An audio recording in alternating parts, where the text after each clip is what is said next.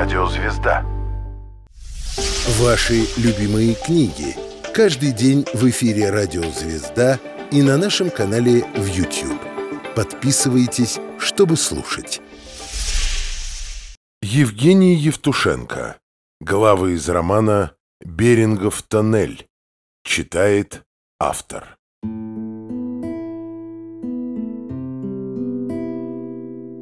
Глава 28. Самый неожиданный немец. «Мертвые согревают живых», — сказал немецкий майор, опять самому себе и опять по-русски. И стал обходить новобранцев, внимательно разглядывая их. Из всего военного обмундирования у них были только шинели, да и то не по росту явно выданные им в спешке.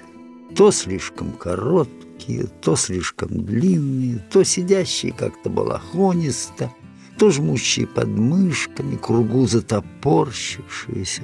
Сапоги были в основном не армейские, попадались, кроме кирзовых, брезентовые, резиновые, охотничьи, бахилы и даже валенки с галошами – Хотя надевать их было еще рановато, а на одном курнопиле с испуганно вытаращенными глазами были сандалеты с дырочками, хотя это было уже поздноватенько. На головах не было ушанок с красными звездочками, а только разномастные кроличьи ушанки, косматые волчьи малахаи, чуть шпанисто заломленные кипара, лыжные вязаные шапки. Это были 17-18-летние, деревенские, еще ни разу, наверное, не брившиеся, не стриженные по-солдатски деревенские парни, то с беспорядочными чубами, то с есенинскими льняными кудряшками, растерянные, не понимающие, как им себя вести, что делать, и пришел ли их смертный час, или авось пронесет. Да, это еще не солдаты, это еще, как вы сказали, зерно, сказал немецкий офицер. Но этот зерно опасный. Этот зерно может стать солдаты или партизаны. Мне очень жаль, но я не могу их отпустить, как вы фольклорно выразились, на все четыре стороны. Четырех сторон больше нет. Война все упрощает, и сейчас только два сторона — вы и мы.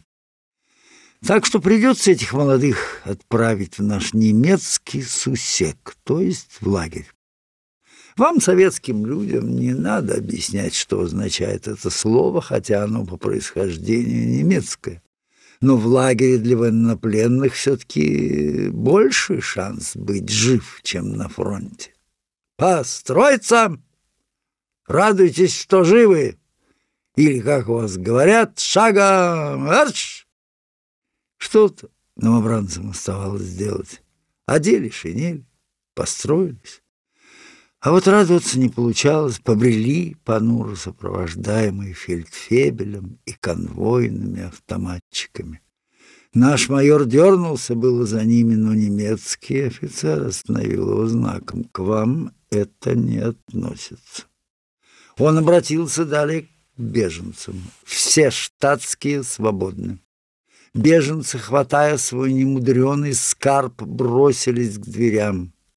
Только погорелка сгребла своих трех детишек. Но затем остановилась на мгновение у двери, нашла взглядом нашего майора и бесслезными, измученными глазами попрощалась с ним. Немецкий офицер крикнул догонку беженцам.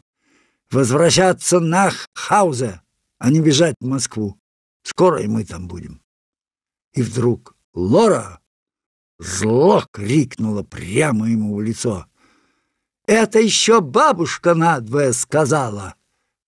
«Какая бабушка?» — не понял немецкий офицер. «Русская!» — гордо вскинула голову Лора. но так, как будто сама была внучкой этой бабушки. «Тебе сколько лет?» — поинтересовался немецкий офицер с любопытством, глядя на нее. «Двенадцать». «Да, ты тоже опасный, кляйное зернышко. Но любопытное. Надо мне с тобой, твой друг, побеседовать». И с вами, герр-майор, как офицер с офицером, тем более, что мы оба в одном звании. Вы никогда, кстати, не были в доме музея Льва Толстого?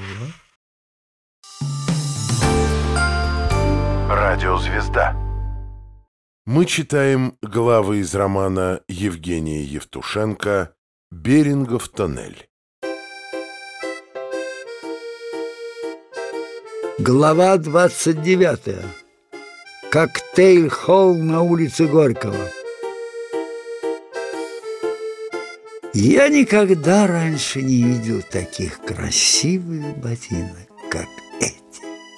Они были из кожи сочного темно-бордового цвета, как у поздних владимирских вишен.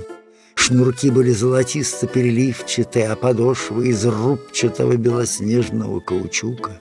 Нога была закинута на ногу в задравшейся довольно высоко яркой изумрудной брючине узкой, как у стеляк, а носок на ноге был не какой-нибудь москвашвеевский, старческий морщинистый, скатывающийся калачиком, а плотно облегающий ногу, эластичный и к тому же бесконечно длинный, чуть ли не до колена.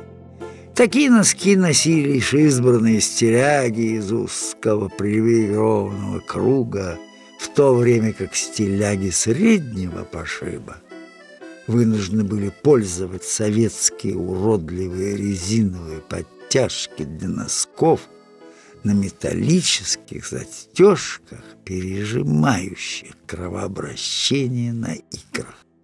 Пиджак обладателя этих ботинок был из настоящей верблюжьей шерсти, напоминавшей цветом и мягкостью азиатские барханы.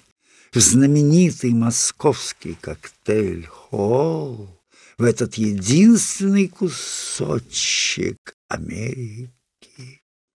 В советском исполнении я, наконец, попал, отстояв часа четыре в очереди на углу проезда МХАТа и улицы Горького, прозванной стилягами Бродвеем.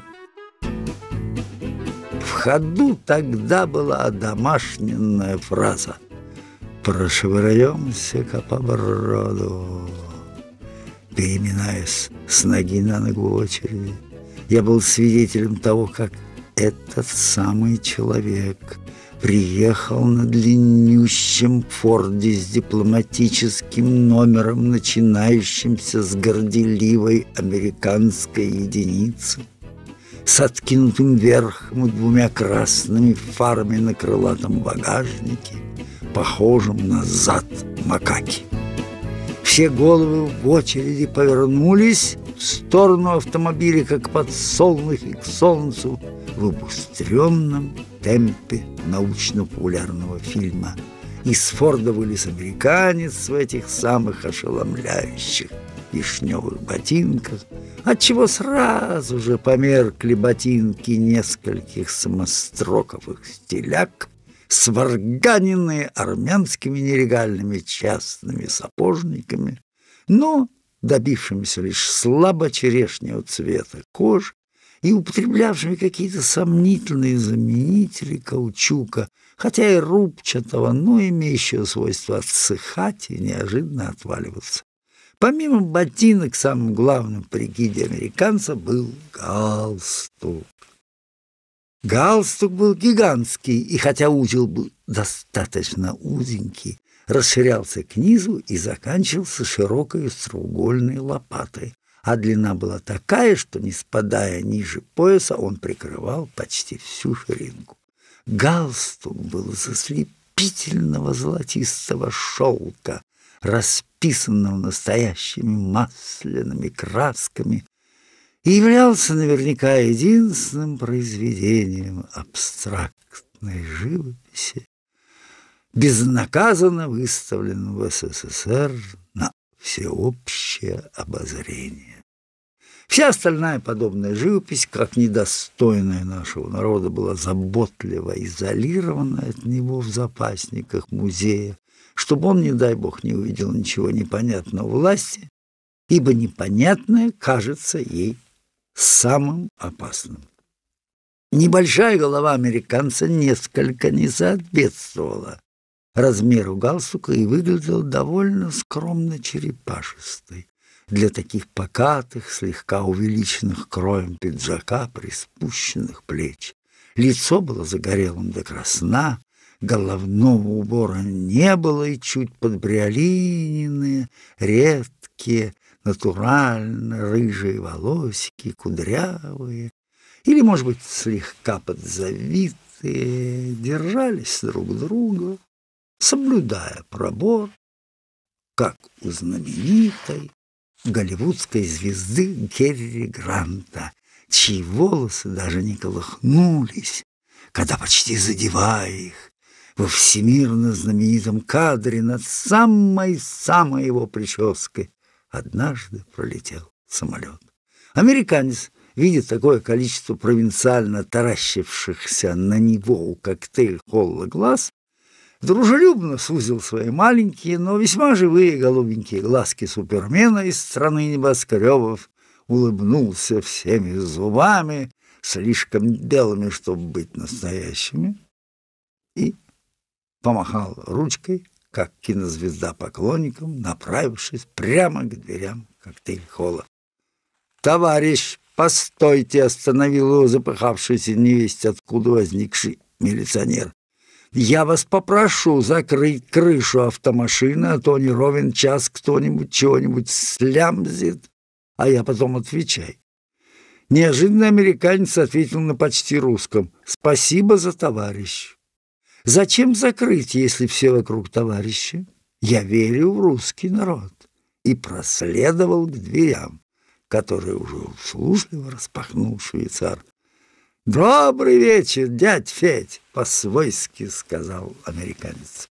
«Good evening!» — бойко ответил на почти английском швейцар в золотых галунах и с окладистой бородой купцов из пьес Островского. Было заметно, что это американец здесь завсегдатый. Вслед за ним являлись и отечественные завсегдатые, которые не удосужились замечать очередь, словно ее и не существовало. Перед этими избранными дядь Федь гостеприимно распахивал двери, величественно делая вид, что не замечал, как ему всовывали деньги в карман – откуда приглашающим краешком уже торчало пол лица лысенького вождя мировой революции со сложенной вдвое десятки реформы 1947 года.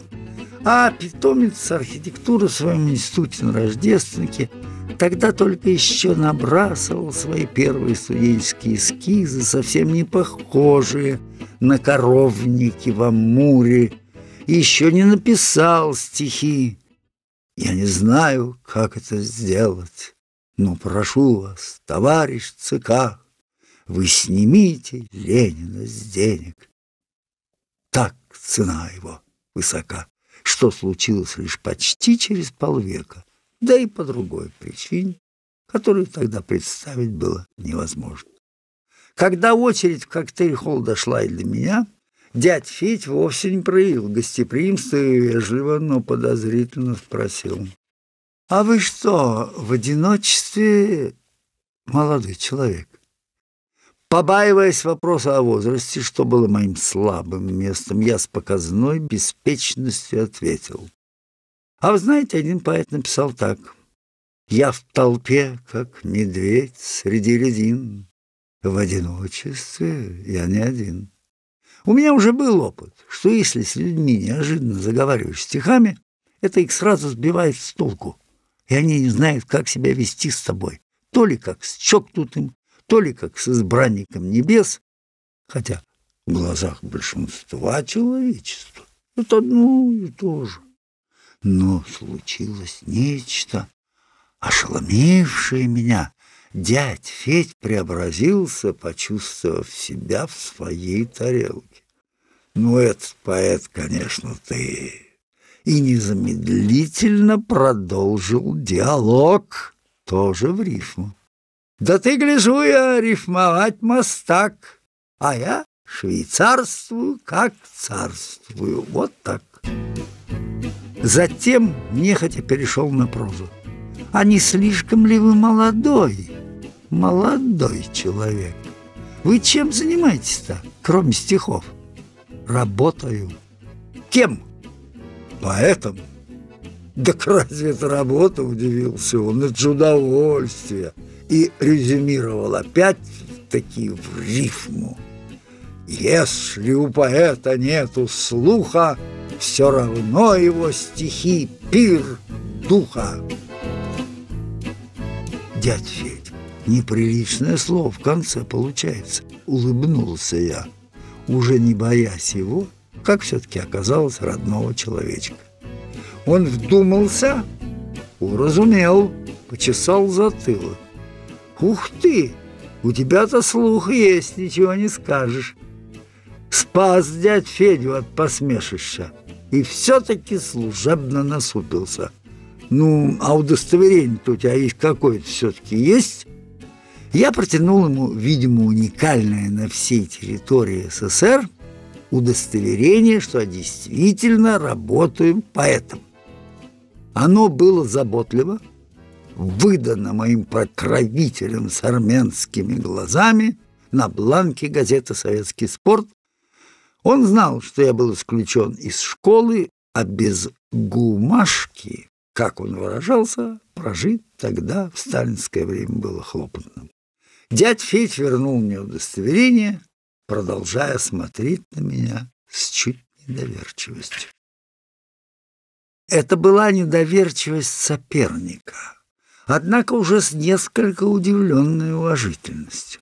И он впустил меня, закрыв двери изнутри, и подвел к стойке бара, где работали две барменши, одна постарше, другая помоложе. Я их особенно не разглядывал тогда, ища глазами того американца, и, наконец, нашел. «Присмотрите-ка за молодым человеком, девочки!» Даже справку показал, что поэтом работает, сказал дядь Федь. Он первый раз здесь. Только очень крепкого его не давайте. Наша сорокорадостная стольких поэтов на Руси сгубила. Только ли она? Хмыкнул оказавшийся моим соседом за стойкой человек со смертельно усталыми, но добрыми глазами глядящими поверх сломанных очков, кособоко держащихся лишь на одной дужке, в съехавшем на бок галстуке бабочки и слегка больше, чем слегка под шофе. Милости прошу к американскому шалашу. У него было эпизодное, очень известное лицо неизвестного актера, примелькавшаяся еще с моего детства на штопанных, перештопанных экранах, военных киносборниках, делавшихся в Ташкенте. Неловко взгромоздясь на вращающийся стул, я продолжала из-под неотрывно наблюдать за тем американцем, сидя за стойкой бара в первый раз в жизни, пробуя порекомендованный мне старший из барменш, не очень крепкий, а очень вкусный коктейль с успокоительным названием «Дружеский». И не через пластмассовую, а через самую настоящую соломенную соломинку тянул я этот коктейль. И вдруг я сообразил, почему я так долго стоял в очереди. Вокруг стола где сидел американец, тоже потягивая что-то, но только без соломинки, и покуривая неизвестные мне сигареты с верблюдом на пачке, был вакуум из четырех полностью пустовавших столов. Никаких надписей «Зарезервировано», на этих четырех столах не было, и никто не запрещал там садиться. Но никто и не приближался к этим столам, как будто они были очерчены невидимым, но всеми ощущаемым меловым кругом опасности.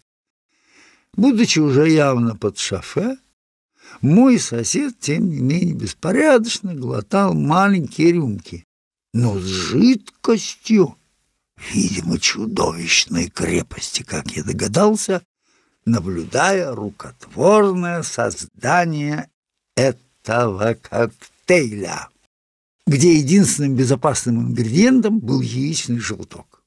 Коктейль назывался «Маяк» и имел большой успех среди других, тоже, судя по всему, актеров, вваливавшихся сюда после только что окончившихся, видимо, спектаклей или киносъемок и понебратски обнимавшихся друг с другом, включая и моего соседа но мне было не до их узнавания. Все мое внимание было поглощено американцем и не совсем для меня понятной вокруг него пустотой. Скажите, а почему вокруг этого американца никто не садится ни за один из четырех пустых столов? Спросил я у соседа по стойке. Он усмехнулся и ответил, заплетаясь неслушающимся языком. Туда не садятся, потому что за это потом сажают. Понял. А ты кто вдруг? Случай не Павлик Морозов? Нет, я бы не предал своего папу. Я поэт. Ух ты! Не слабо. Поэт? Это же все равно, что сказать про самого себя «я хороший человек». А ты что, правда хороший? У меня есть недостатки, гордо сказал я, но я не предатель. Ну ладно, поверю, дай пять раз ты такой. Только о таких вещах надо потише. Ты ведь кино любишь, правильно? Правильно, подтвердил я. А какое кино? Чапаев. Два бойца у стен Малопаги, похитители велосипедов. Ух ты! А ты, мальчик, знаешь, кто такая Тата Куневская? Знаю. Она была любовницей батьки Махно Александре Пархоменко. Не ударил я лицом в грязь. Правильно. Но она все-таки была в роли любовницы Махно, а не его любовницей. И он, хохоча, потребовал еще один маяк. А то и я после одного исторического фильма осмелюсь хвастаться, что был любовником самой Екатерины Великой. Да это все роли, отрок, роли. Иногда я сам забываю, кто я. Видишь, вон там в уголке. Петя Олейников сидит, который анархиста в том фильме гениально сыграл. Помнишь? Цыпленок жареный, цыпленок пареный, Пошел на станцию гулять. Помнишь его? Ну как же можно забыть? Не для того, чтобы поддакнуть, а с чистой совестью, сказал я, восторженно глядя на одного из моих кумиров, правда, сильно полысевшего, а заодно и понурившегося с той поры, как он пел в роли лукаво-обаятельного донецкого шахтера Вани Курского. Спят курганы темные, солнцем опаленные, или в роли красного конника в залихватски заломленной папахе. Ты ждешь, Лизавета, от друга привета. А ты помнишь, за что над этим народным любимцем тот же так называемый любящий народ издевался? Помню. За роль Пушкина в фильме «Глинка». Правильно. Когда была премьера фильма «Глинка», и Петя Олейников предстал на экране в сцене дворянского бала во фраке, Поигрывая белыми перчатками, вся шобла в зале загоготала. «Да наш Ванька Курский! Да куда он с его цуконным рылом в калашный ряд?» Петь после этого так запил, бедолага. А ведь Петя же был самым лучшим, Пушкиным. Из всех Пушкин, потому что такого шарма ни у кого, наверное, не было. Да после самого Александра Сергеевича, кроме Пети. Правильно? Правильно, искренне ответил я. Мне когда-то понравилось исполнение Олейниковым роли Пушкина. Как будто я первый раз увидел поэта живым. А еще мне понравилось исполнение моим соседом по стойке бара. Слово «правильно» в энергичном сокращении. Правильно. С тех пор я только так и стал произносить, и до сих пор так произношу. Мой развоспоминавшийся сосед продолжал все грустнее и грустнее, а история Таты Акуневской была еще печальнее. Она ведь была тоже всенародной знаменитой. Ты знаешь, где сейчас Тата? Не знаю. Она там, куда нам с тобой лучше не попадать, мальчик. Но никто в ее защиту, несмотря на всенародную любовь, и не пикнул. Ничего нет более ненадежного, чем любовь, отрок, особенно всенародная. И его качнуло в сторону от еще одного маяка. И мне пришлось поддержать его. Но он не мог остановить свой рассказ и продолжал хриплым шепотом. Однажды на каком-то приеме в югославском посольстве ее усадили за стол рядом с самим маршалом Тита. А он оказался ее поклонником, ну и пошло-поехало. Быть в роли любовницы в кино на экране было безопаснее, чем любовью Тита в жизни.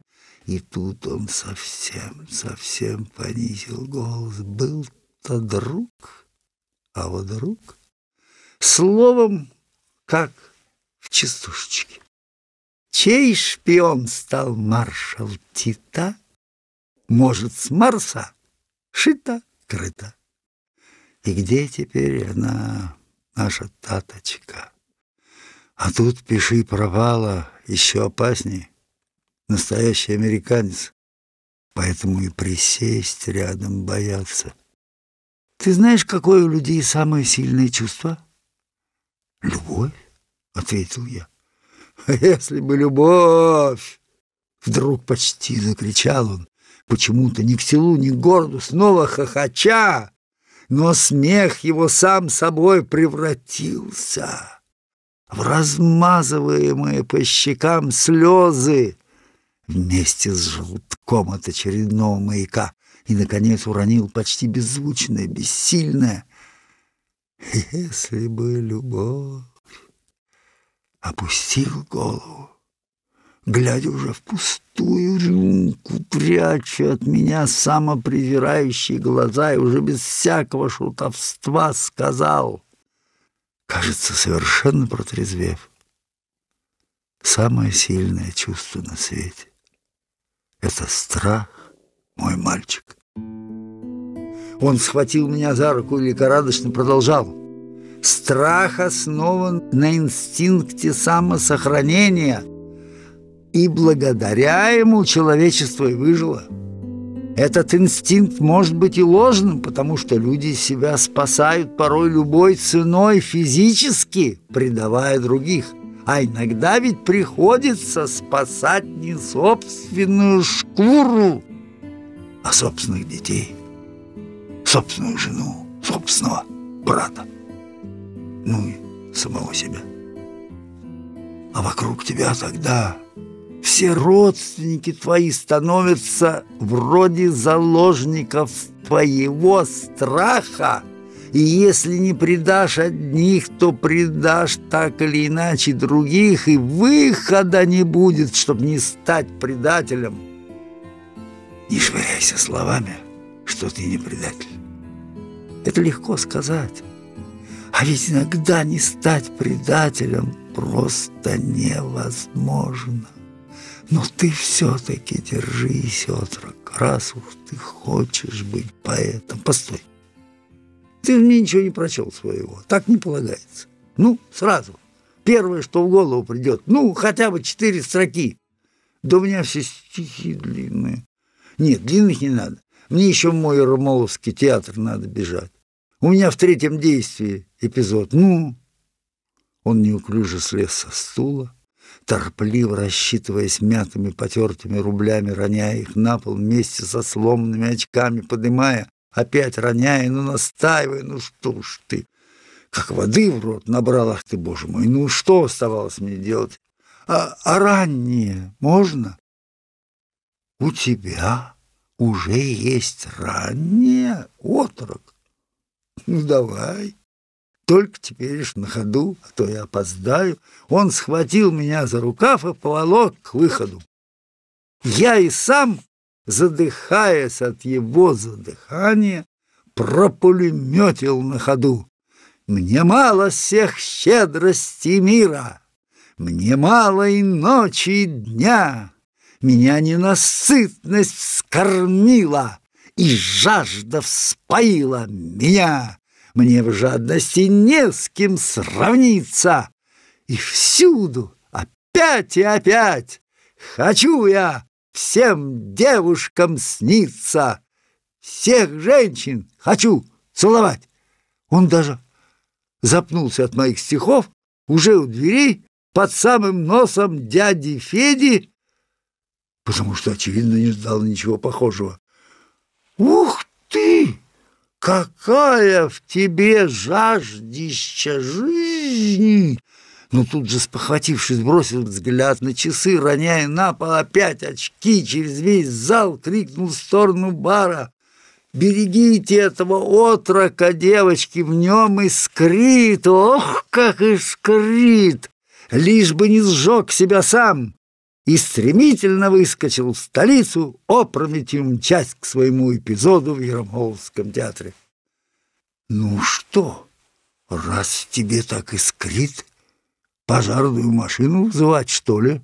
Чуть завистью пошутил дядь Федь. Я поднял уроненный этим человеком очки с одной душкой с пола, передал дядь Феде и вернулся за стойку продолжая наблюдать за американцем, бывшим полной противоположностью измученному самим собой эпизодному актеру. Американец был самодовольный грунчик. Он наслаждался страхом окружающих. Он не беспокоился за свой форт оставленный с откинутым верхом на улице Горького, потому что в те годы никто бы не рискнул украсть посольский форт или что-то из него. Только не стоит это превозносить как честность всех времен и народов. Это был страх, а страх нельзя принимать за честность.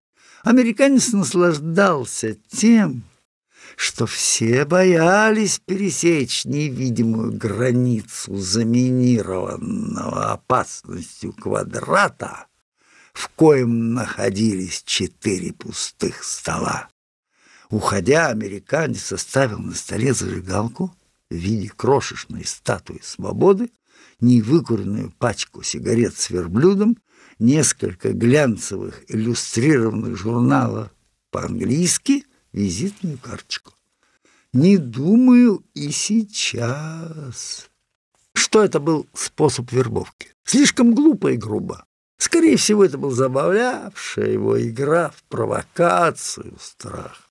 Он явно получал от этого удовольствие, а мне вот это не понравилось, как не нравилось в детстве, когда мальчишки где-то на тротуаре подбрасывали пустой кошелек на ниточке, чтобы издевнуться потом над кем-нибудь.